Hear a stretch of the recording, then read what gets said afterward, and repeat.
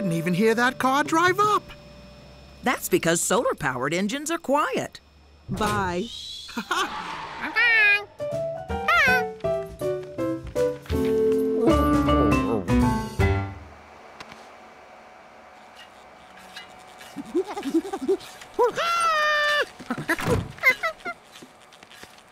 Thanks, George.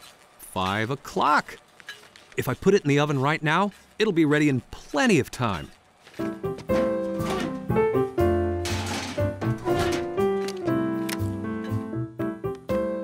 Hey, while it cooks, we have time to play.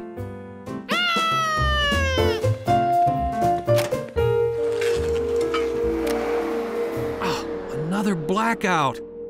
George, the oven's electric. My lasagna won't cook. Uh, I'd better warn Professor Wiseman we may be late. Or, or worse, lasagna-less. Ugh, where did I leave it now?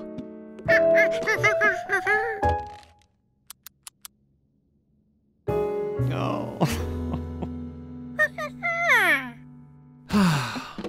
There's no way on earth to cook without power.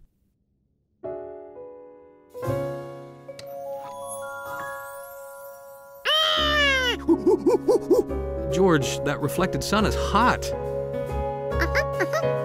That reflected sun is hot. George, you may be a genius. Pizza box keeps pizza warm, so it'll hold the heat.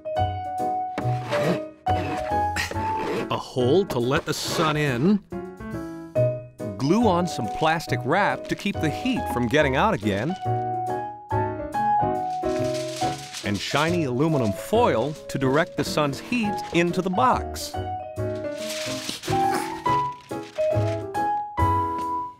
Fantastic!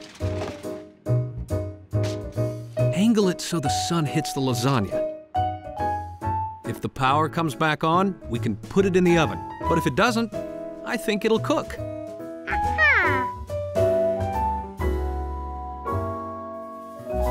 Hours later, guests arrived at the museum, which was the only building in the whole city with electricity.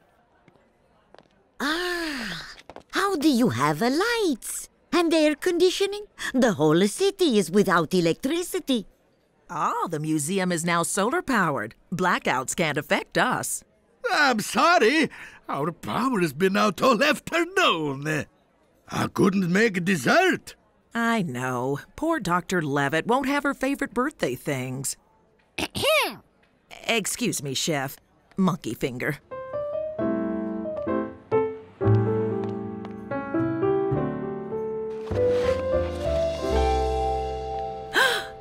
It's hot.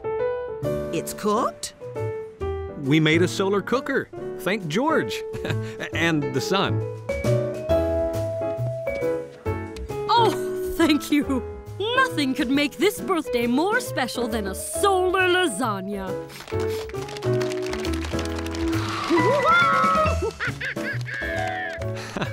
That was nice of you to teach him to drive the solar car.